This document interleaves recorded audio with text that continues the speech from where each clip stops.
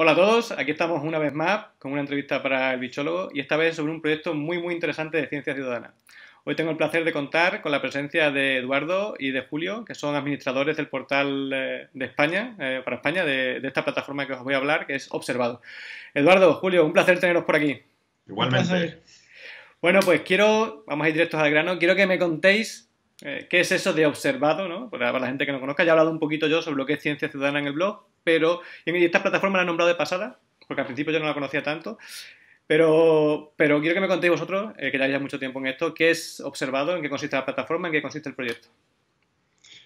Bueno, pues Observado es una plataforma de ciencia ciudadana que permite incorporar tus observaciones a modo de cuaderno de campo digital, incluir fotografías, audio y bueno, cuenta con una app para introducirlo cómodamente y, en, líneas generales es eso. Si Julio quiere contarnos algo más específico.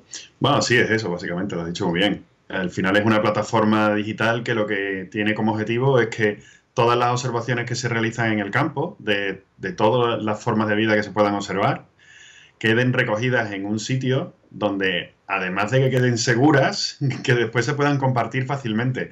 Y sobre todo porque hay una cosa que, que dice el gran Andy Patterson, que dice, lo que no se comparte no existe. Totalmente de acuerdo. Entonces, este, este, tipo de plataformas lo que ayudan es a que la información no se quede en un cajón, en un, cuaderno, en un cuaderno de campo durante un montón de tiempo, sino que una plataforma que coge esa información, la sube a una base de datos, la ofrece a después, bueno, tiene muchísimas utilidades después para conservación, y además a ti te permite hacer búsquedas muy rápidas sobre la información que tú tenías. Es cuando viste la primera golondrina en el año 87, pues ahí tienes eh, una manera súper rápida de, buscar la información. La verdad que también estas plataformas me encantan. De hecho, yo siempre he sido para ir al campo muy desorganizado con el tema de los cuadernos de campo. Siempre me compro un montón de cuadernos para ver si llevaba nota y sí, un día lo apuntaba, otro día no y tal, pero como el móvil siempre lo llevo a mano, a mí me resulta extremadamente útil este tipo de plataformas, en concreto sobre todo Observado, que como hablaremos un poquito, como ya has comentado, no solo es para pájaros, que es lo que yo hacía antes, ¿no? sino que te vale para todo, todo bicho que se mueva. ¿no? Bueno, ¿y, de dónde viene esta idea? ¿no? ¿De dónde surge esto de crear eh, esta plataforma de observados de ciencia ciudadana? Porque además no es solo un proyecto, eh, digamos, a nivel nacional, ¿no? No, no. Este proyecto nace en 2005, se le ocurrió a, un holandés que pensando que, bueno, que él tenía sus conocimientos de informática, sus conocimientos de base de datos, decía, ¿esto por qué no lo hacemos para que la gente tenga esta posibilidad? Y allí se, arrancó el proyecto, poco a poco fue creciendo, se expandió a Bélgica y en 2008 nació como plataforma internacional.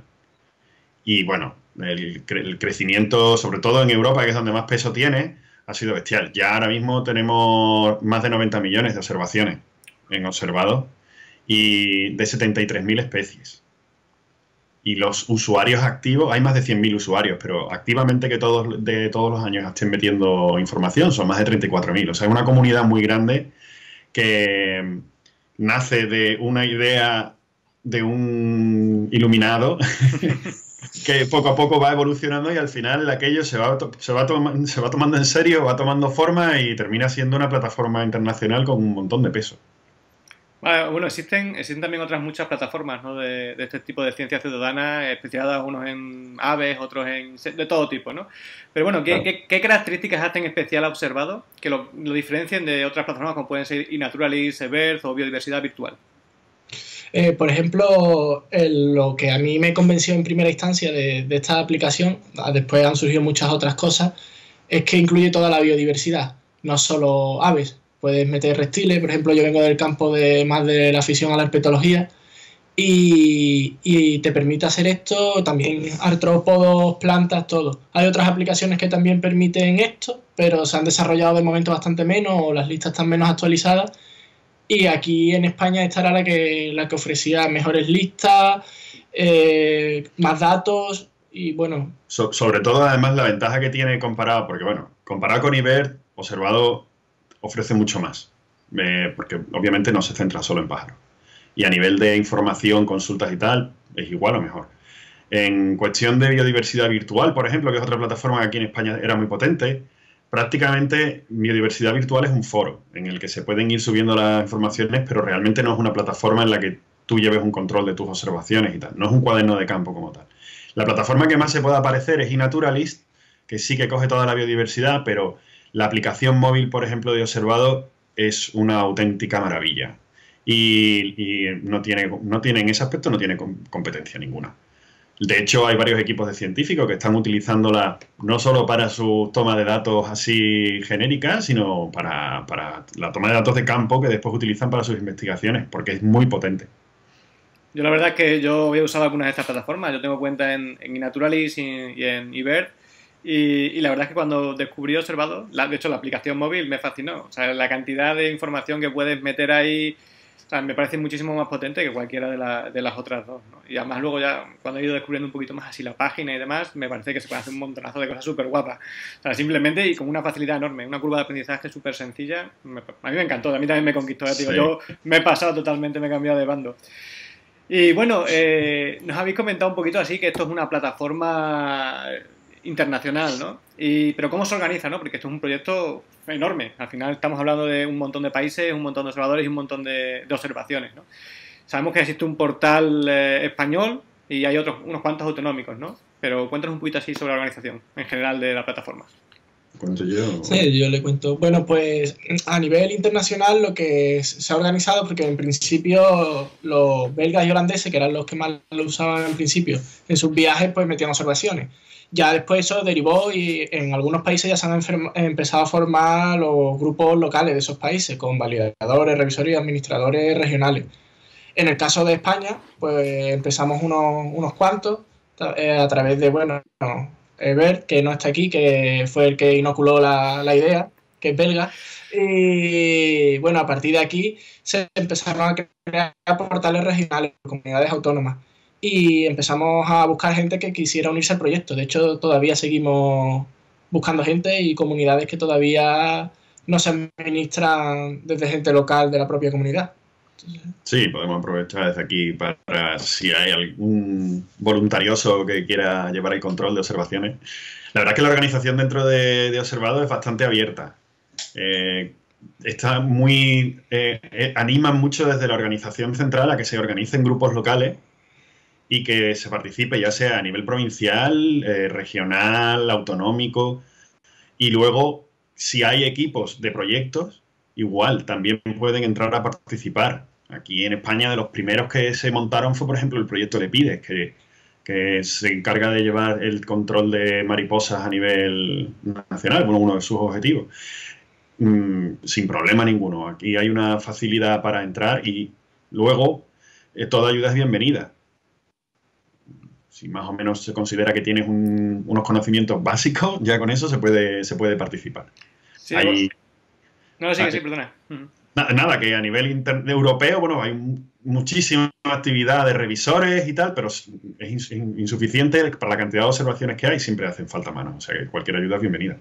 Sí, bueno, a mí, a mí me captaron así, porque de hecho yo, yo estoy ahora por medio de la Sociedad de Zoología, estamos gestionando el portal extremeño, ¿no? Pero, pero he de decir que la verdad es que sí, que la organización que tenéis es, está muy bien, yo creo. Y además que sois muy, muy activos y sois unos cracks, porque de hecho hace poco habéis estado haciendo ahí lo de las validaciones de especies y yo estaba flipando ahí en el, en el grupo de WhatsApp. ¿eh? Estabais ahí como controláis ahí. Yo sí me gusta mucho el bicherío y tal, pero bueno, hasta los niveles que tenéis me quedé ahí un poco flipadete. o sea que sí que es verdad que, que hay gente muy buena y está, la verdad que la plataforma está muy, muy bien organizada. Bueno, y has estado comentando que estáis buscando gente, ¿no? De, para, para, portales autonómicos. ¿Qué, comunidades, por ejemplo, qué comunidades autónomas no tienen aún su propio portal? ¿Y, quiénes podrían postularse o ser, decir, oye, mira, a mí me, interesaría llevar el portal de mi comunidad? ¿Qué características necesitarían para, ser administradores? Bueno, para ser administrador lo que tienes que tener es ser bastante honesto y saber si, sobre todo, que eso es importante, dedicarle un poco de tiempo a esto al final tienes que tener conocimiento sobre el grupo de especies sobre el que vas a trabajar. Claro, ser administrador no es ser administrador de todo. Eh, tú eres administrador, pues bueno, en general, dependiendo del tiempo o la, disponibilidad que tengas, para organizar un poco lo que es la página de tu, de tu región, de tu comunidad autónoma, de tu provincia, y luego dedicarle algo de tiempo a revisar esas observaciones dentro de tus posibilidades. Y también difundir entre los equipos de trabajo que estén dentro de tu región, pues cuáles son, a que animarlos a que utilicen la plataforma, difundir la utilización. Por ejemplo, en, Navarra lo está llevando la, Sociedad de Ciencias Naturales de, de Gorosti. Eh, que la verdad es que va muy bien con ellos. En, otras comunidades son a nivel personal alguien que se ha animado y que se ha propuesto. No hace falta tener ningún tipo de título ni, nada, es simplemente tener esa capacidad. Y luego, obviamente, centrarse en lo que uno sabe. Si uno sabe de aves, pues ánimo y, adelante. Y ya, bueno, pues buscar gente que sepa más de herpetos, que sepa de libélulas, que sepa de que hay muchísima actividad. No sé si alguna comunidad que haga falta. sí, bueno, hay bastante, hay bastante. De, hecho, son pocas de momento las que hay. Ahora mismo están operativas Andalucía, Extremadura, Asturias, Galicia, Navarra, ¿no? Castilla y León, Canarias. y Comunidad Valenciana. Mm. O sea, faltarían Cataluña, Castilla-La Mancha. Castilla-León. Castilla-León.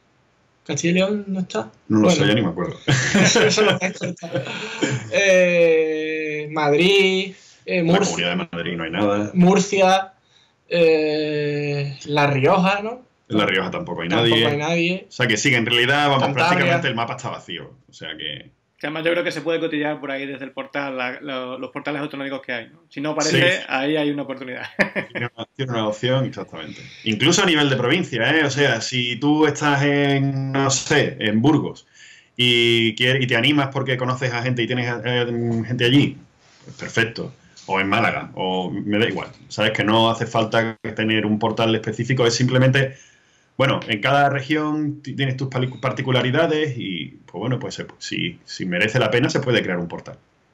Perfecto. Eso es muy bueno saberlo porque hay mucha gente por ahí que tiene proyectillos, que conoce mucho la zona y que seguro que le molaría participar en un proyecto tan interesante como este. Bueno, hemos dicho, hemos dicho que también hay muchas otras plataformas internacionales de ciencia ciudadana y que, y que capturan datos que puedan ser luego usados, ¿no? Eh, por distintos investigadores, distintos grupos o colectivos. Eh, ¿Observado comparte sus datos con algunas plataformas estas internacionales o cómo funciona el tema? Observado está participando en varios proyectos de, datos internacionales. Entre, vamos, yo no los conozco todos porque son bastantes. Eh, de los más gordos está el European Bird Portal, que es el EBP, que este lo que está tratando es de, recuperar toda la información sobre, sobre aves de, las distintas plataformas de ciencia ciudadana europea y unificarlos en, una sola. Es una especie de GBIF, pero con un poquito más de... Bueno, a lo mejor los que nos ven no saben lo que es GBIF. Bueno, es una especie de base de datos mundial en la que todo el mundo mete la información, pero el Eurobird Portal tiene un poquito de control de calidad. Y también está participando observado, aportando todos los datos en, el Atlas Europeo de Aves Reproductoras, en el segundo que se está realizando, y todos esos datos se, comparten. luego cualquier entidad eh, investigadora, cualquier investigador que quiera acceder a los datos de, observado, lo único que tiene que hacer es enviar un correo electrónico y se le envían los datos con, sin problema ninguno. Perfecto. los datos están a disposición de, de cualquiera que lo solicite siempre que cumpla una serie de requisitos, no tener ánimo de lucro, etcétera, etcétera. Bueno, ahora seguro que hay mucha gente ahora preguntándose si, o, viendo que, esta plataforma mola un montón y el que gusta participar, pero piensan que no son suficientemente buenos o, que no, saben, no son unos expertos en fauna. ¿Esta gente puede registrarse en la plataforma y participar aún así?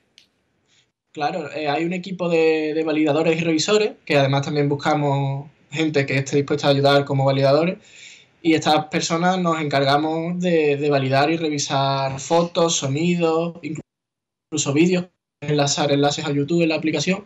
Entonces, quien no tenga conocimiento muy avanzado, si no sabe lo que ha visto, puede subir una foto, un vídeo, un sonido, y el equipo de validadores le puede indicar lo que es y también tiene la opción de subirlo como dudoso, si no tiene seguridad. Lo puede indicar en una pestaña y los validadores pues se lo pueden confirmar o decirle, mira, no, lo que has visto es otra cosa e indicarle el que Claro, además uno de los objetivos de esta plataforma es que la gente aprenda. Yo cuando, incluso a mí, yo a veces que voy a buscar una especie, esta especie no sé lo que es, tal cual, pues voy a mirar las fotos que hayan observado, que otra gente ha hecho y, te saca de duda. En cualquier caso, esto es una herramienta que se eh, acompaña al proceso de aprendizaje que, de cualquiera que esté interesado en el proceso de, en, el, en el tema de la naturaleza y observación de la naturaleza. No obliga a ser, ya le he dicho, no, no tienes que tener el carnet de experto para Perfecto, es bueno de la, de la ciencia ciudadana, ¿no? que todos podemos ser un poco científicos, ¿no? aportar nuestro granito de arena a estas enormes bases Claro. de datos, que si no de otra forma sería muy difícil conseguirlas. Y bueno, ya nos has comentado que, que una persona que lo solicite pueda acceder a, a esos datos, ¿no? Eh, pero ¿qué opciones de privacidad tienen y cómo se tratan observaciones, por ejemplo, de fauna amenazada o sensible, que pueden ser un poquito más mm, delicados ¿no? a la hora de manejar? Por un lado, desde la propia portal general, las especies más sensibles se ocultan por sistema, aunque el usuario no quiera usu- ocultarlas. Por ejemplo, el lince, quien lo meta, él va a poder ver sus propias observaciones, pero las que hayan subido otro no puede verlas, ni foto, ni fecha, ni hora, ni lugar.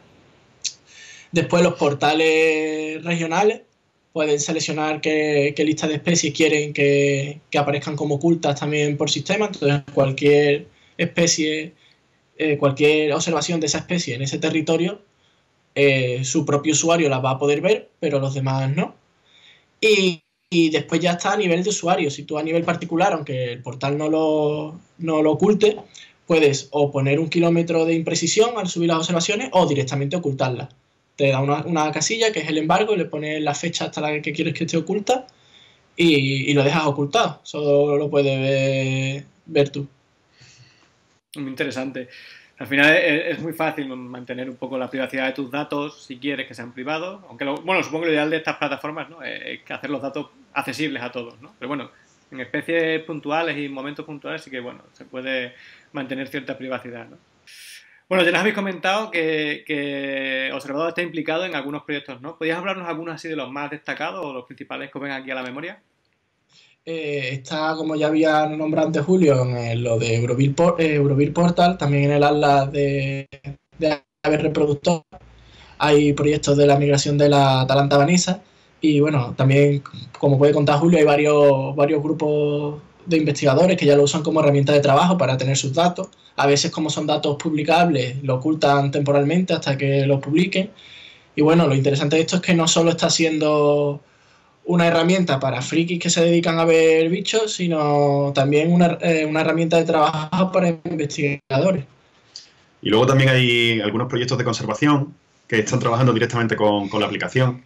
Eh, por ejemplo, aquí en Andalucía eh, hemos llegado a, un acuerdo con la gente de la Junta de Andalucía, el equipo que está llevando el seguimiento del aguilucho cenizo, que es una especie vulnerable aquí, para eh, ayudarles a localizar las colonias de cría durante las primeras fechas, que es lo más importante, cuando llegan aquí y se instalan para después proteger esos nidos y evitar que las cosechadoras pues, pues causen un mayor problema. Entonces, cada vez que hay una observación en esa época de un aguilucho cenizo, se envía un correo electrónico con la, infor- la información de la observación directamente al equipo de técnicos. Y ellos ya evalúan si desplazan a alguien para allá para hacer una localización de la colonia o del nido, o, o, bueno, si es una zona en la que ya tienen eh, controlados la, la población, pues no van. O sea que la plataforma, aparte de simplemente ser una herramienta de recogida de datos, está activamente ayudando a la conservación de ciertas especies que están en peligro. No, nosotros ahora desde la Sociedad Extremeña de Zoología nos gustaría a lo largo del año ya usar eh, la plataforma de observado como, como estándar ¿no? para la recogida de esos datos de, de presencia, ausencia de anfibios que estamos haciendo para el Atlas. ¿no? Así que pondremos nuestro granito de arena también ahí en ese aspecto. Eh, bueno, y nos has comentado que, para conseguir los datos eh, simplemente hay que mandar un correo a la plataforma, ¿no? Pero cualquier investigador eh, para cualquier trabajo puede usar los datos que quiera o, o cuál sería el mecanismo, ¿no? En que se acepta o no eh, pues ese, ese uso de los datos. Hay unas condiciones de uso de, los datos. Esto se controla con bastante rigor por parte de, de, la organización que está a cargo de esta, de esta información. Ellos tienen mucho celo en a quién se le dan los datos y con qué fin. Toda la información que se, que se comparte tiene que tener o fines científicos, 100%, o fines de conservación. Mm, la información que está en la base de datos es, es, simplemente una manera de... El autor de esa información es el dueño y el observador lo único que hace es que la custodia, pero en ningún caso es propietaria de esa información. Entonces, con el permiso de los propietarios de la información, porque un usuario se da de alta, elige si quiere compartir sus datos con instituciones científicas o no. Eso es una opción que se te pregunta. Entonces, una vez que tienes el, visto bueno, cuando llega a una institución científica, explica para qué es esa información y se le facilita con, con bastante rapidez toda la información que esté pidiendo. Pero claro, tiene que explicar para qué son esos datos. Puede haber acuerdos de, de, convenios de colaboración en casos especiales y tal, pero en general es sencillo el mecanismo de compartir la información. Ah, entonces supongo que cualquier, cualquier investigador podrá usar la plataforma ¿no? para sus propios proyectos, ¿no? Es decir, siempre que cumplan más o menos las características, puedes usar la plataforma tanto para obtener datos para tus proyectos como para recabarlos, ¿no? Claro. Claro. Perfecto.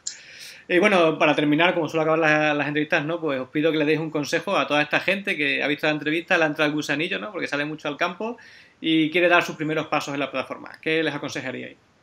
Bueno, yo el consejo que le doy, que es lo que suelen tener problema la mayoría de la gente que empieza, los pasos a seguir, ¿no? Que se registre en la plataforma primero, observation.org, o bueno, observado.es, la plataforma España, desde ahí se puede registrar eh, y desde ahí que se bueno, en el móvil eh, OSMAP si usa Android o iOPS. y iOPS si, si es de Apple.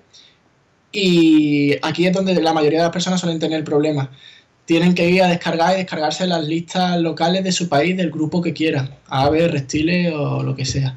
Y muy importante, eh, el grupo de especies de España, no, eh, Holanda traducido al español, que también puede pasar. Ahí es donde un poquillo más de lío hay, a lo mejor intentan usar la app sin descargar las listas o se descargan... Eh, en, cualquier caso, si tienen cualquier tipo de problema, lo, ideal es que nos escriban un correo electrónico si tienen cualquier duda, porque en realidad el uso de la aplicación es bastante sencillo y todo es bastante intuitivo, pero dado que es una plataforma que soporta muchas especies, en algún momento dado puede resultar apabullante. Entonces, que se den de alta en la plataforma, que después se descarguen la aplicación y si tienen cualquier tipo de duda, que nos escriban un correo electrónico o entren en el foro, que tenemos un foro en el que todo este tipo de, preguntas se resuelven casi prácticamente en tiempo real, que es forumobservado.es. Y ahí encontrarán la ayuda que necesiten para cualquier cosa que puedan tener voy a poner todas esas eh, direcciones ahí al final de la, de la, entrevista, al final del post. Y bueno, la verdad es que yo, mi experiencia personal fue cuando llegué a la, a la plataforma y cuando vi la, la aplicación móvil, me fascinó desde el primer momento, pero es verdad que a veces hay tanta información que apabulla un poco como diciendo, Dios, cuántas listas que elijo ahora, no sé qué, buf, hay un montón de opciones. Pero luego es verdad que la curva de aprendizaje es súper sencilla y, y, luego además es un vicio. ¿eh? Yo salgo a dar una vuelta por aquí, por al lado del río y voy tomando datos ahí con el móvil como, como un tonto. Al final es el problema, ¿eh? Sí, sí, engancha, engancha. Datos. Bueno, pues ya nada más, solo agradeceros vuestro tiempo, ¿no? Haber compartido un poco vuestra experiencia con la plataforma y habernos acercado un poquito más a este proyecto de ciencia ciudadana que para mí es muy, muy interesante.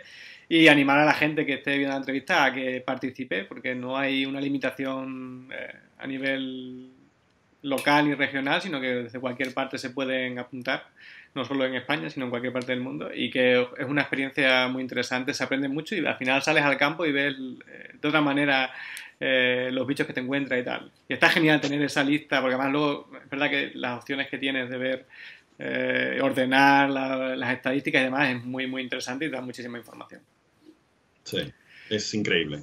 Muchas gracias de verdad y un saludo y bueno, estamos en contacto. Muy bien, muchas, gracias, Ignacio. Hasta luego. Chao.